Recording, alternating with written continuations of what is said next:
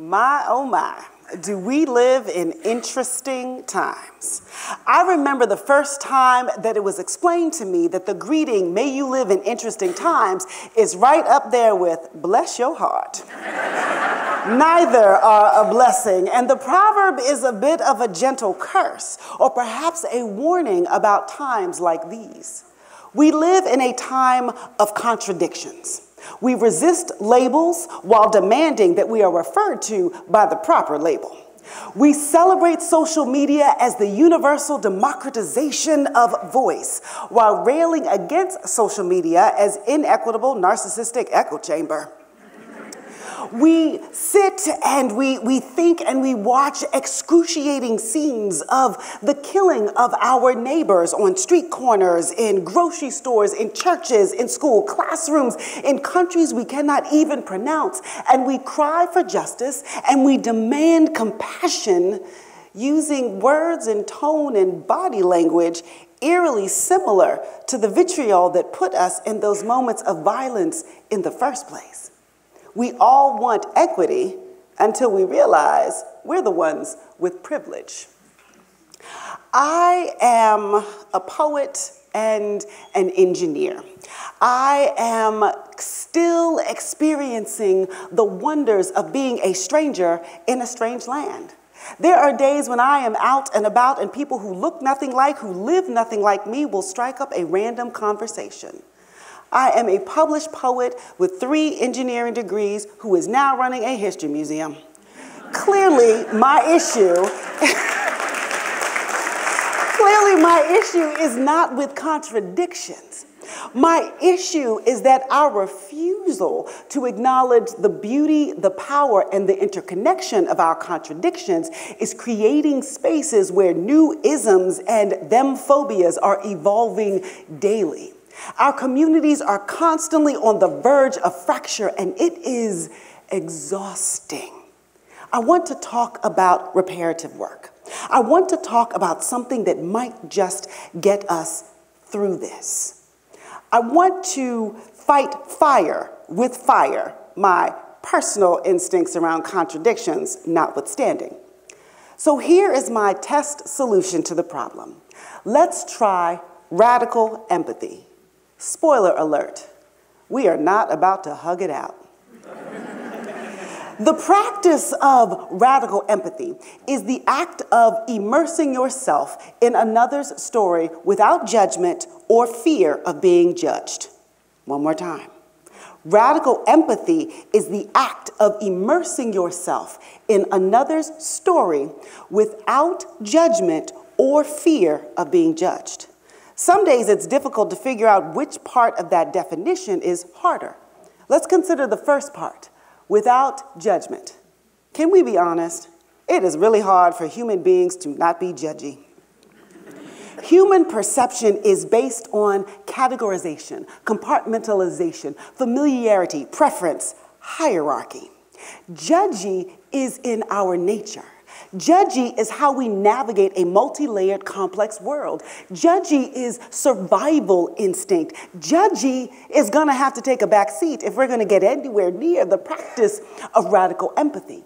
Because when you immerse yourself into another's story, in the practice of radical empathy, you can never disrespect that privilege by daring to judge the story. The second part of this is about entering without fear of being judged. Now, this does not mean you won't be judged. It just means you have agreed to step into that space without fear of it. And this all seems a little bit unfair. Radical empathy requires an incredible and courageous sense of self. But, but the practice of radical empathy is not about the practitioner. In the act of immersing yourself into someone else's story, you are not making an act of power or favor. This is an act of vulnerability. The practice of radical empathy requires the decentering of self. But I did promise that we were not about to hug it out, and here's why.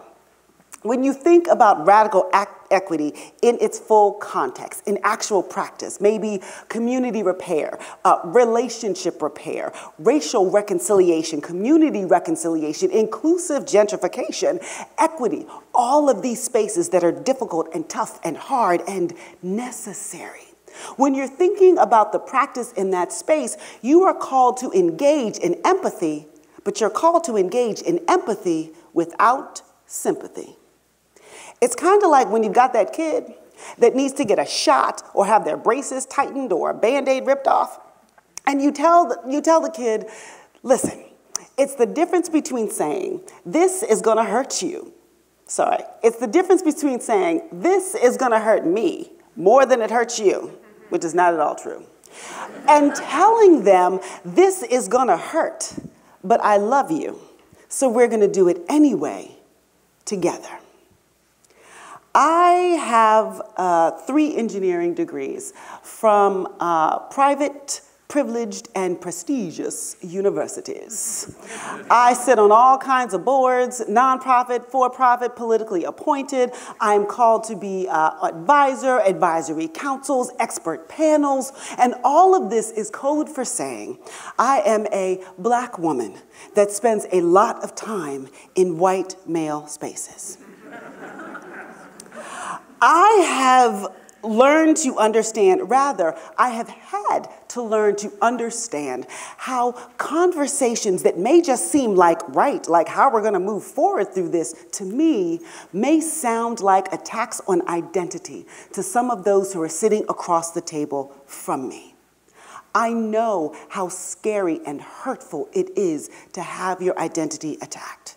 I know how painful and jarring it is when a system or a society seems to be trying to erase, to mold, or to reshape or diminish your sense of identity. When your history is being redefined right in front of you, I know that it feels like that is a direct, targeted, and personal assault.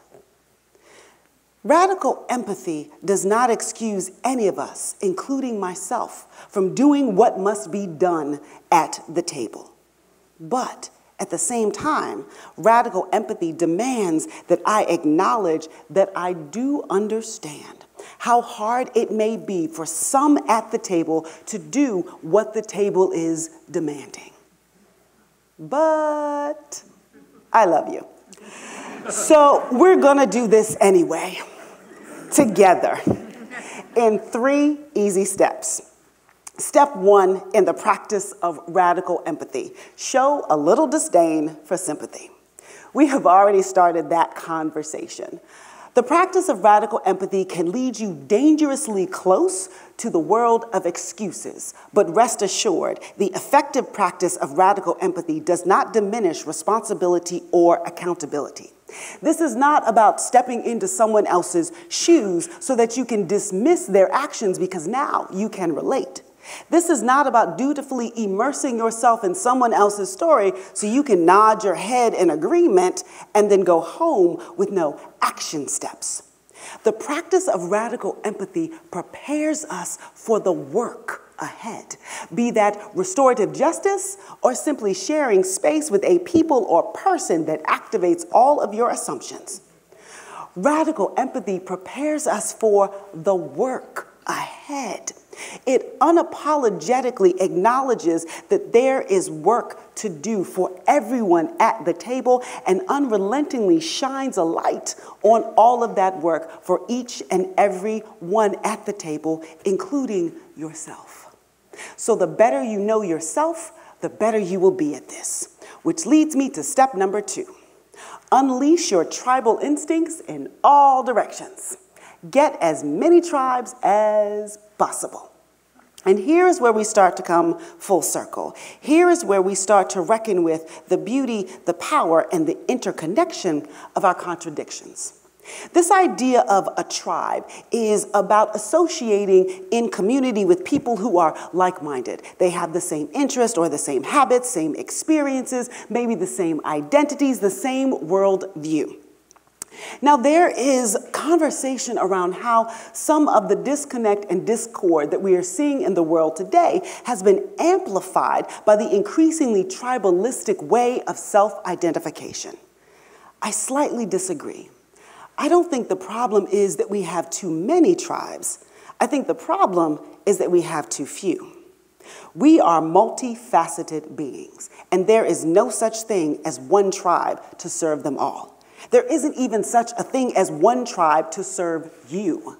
Belonging to multiple tribes that serve the multiple parts of who you are is how you become whole. Being able to have all the pieces of us nurtured and seen in these spaces and grown is how we begin to develop that courageous sense of self that allows us to immerse ourselves into another's story. Now, immersing yourself into another's story is a skill set like any other. The more practice, the better. The more tribes, the merrier. And this leads us then to the final step. Step three easy to understand, really hard to do. Step three in the practice of radical empathy learn to relate with your inside voice. so imagine you are in the zone you have immersed yourself in someone else's story and you are firing all cylinders. You are not judging, you are not being judged. You have brought all your tribes to the party and you are working and you are finally, finally, you get it.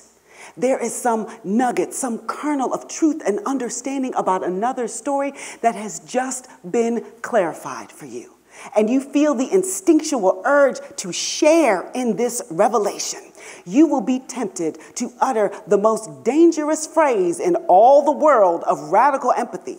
You will feel yourself wanting to shout, I know exactly how you feel. Don't do it. Do not do it. Now, interestingly, this consideration is not about whether or not that statement is true, because chances are that in that moment you do understand and you can relate. And like any good, solid practice, you will need time to reflect and consider everything that you have learned, everything that you now understand, and what you're going to do going forward. But that moment is not the moment. Remember, one of the most essential components of radical empathy is the decentering of self. When you immerse yourself in another's story, the practice of radical empathy is not about the practitioner, it's about the storyteller. It's about her, it's about him, it's about them. When we take on the gift of being inside someone else's story, we take on the responsibility of getting out of the way, getting out of the story's way, getting out of our own way. This last step of decentering is actually what transforms radical empathy from catchphrase to superpower. When we are in the practice of radical empathy, we are creating a path towards a space where the story can be shared in a place without judgment and without fear. And this tears down the last battle, the last barrier to taking on the full beauty, the full power, and the full interconnection of all of our contradictions. Now, this does nothing about bless your heart. but I do believe that this practice of radical empathy holds great promise in us making good on living inside interesting times. Thank you.